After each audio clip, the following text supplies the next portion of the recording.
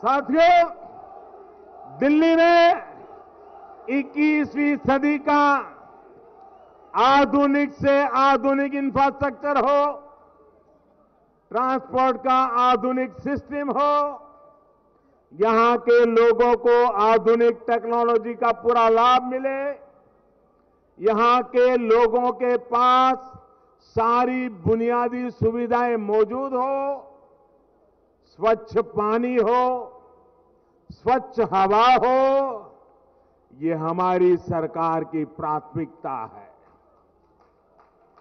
हम जो संकल्प लेते हैं, उस संकल्प को सिद्ध करते हैं, यही हमारी भाजपा की पहचान है, यही भाजपा सरकार की पहचान है। भाइयों और बहनों, याद करिए दिल्ली में ईस्टर्न और वेस्टर्न पेरिफेरल एक्सप्रेसवे, इसका काम कितने वर्षों से चल रहा था?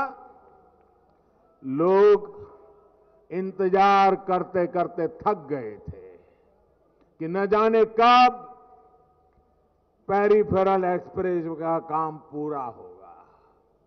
बरसों से अटका हुआ ये काम पूरा किया। दिल्ली में हमारी सरकार बनने के बाद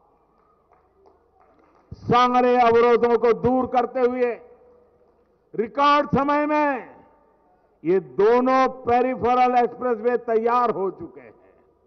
इसके कारण आज करीब चालीस हज़ार ट्रक,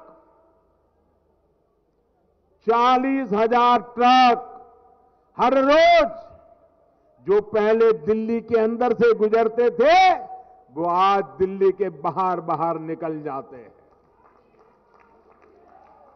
सोचिए, दिल्ली में आने वाला ट्रैफ़िक और प्रदूषण करने में, प्रदूषण को कम करने में, इस व्यवस्था ने, इस नए इंफ्रास्ट्रक्चर ने कितनी बड़ी मदद मिली है।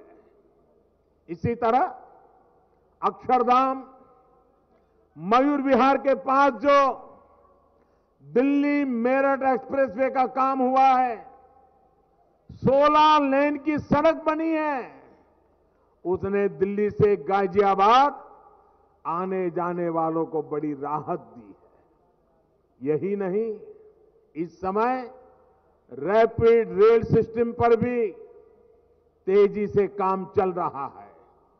दिल्ली और मेरठ आने जाने में घंटे, सवा घंटे से ज़्यादा न लगे। इस दिशा में हम काम कर रहे हैं।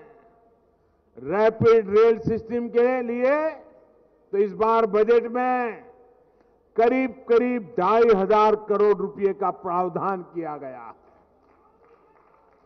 साथियों, दिल्ली मेट्रो से हमारे सबके आदरणीय नेता अटल जी का नाम जुड़ा हुआ है। अटल जी के बहुत प्रयासों के बाद ही दिल्ली में मेट्रो शुरू हो पाई थी। अब हमारी सरकार का प्रयास दिल्ली में मेट्रो के विस्तार को और बढ़ाने का है। बीते पाँच वर्ष में करीब सवा सौ किलोमीटर नई मेट्रो लाइनें और 80 किलोमीटर से अधिक के आरआरटीएस स्वीकृत किए गए हैं।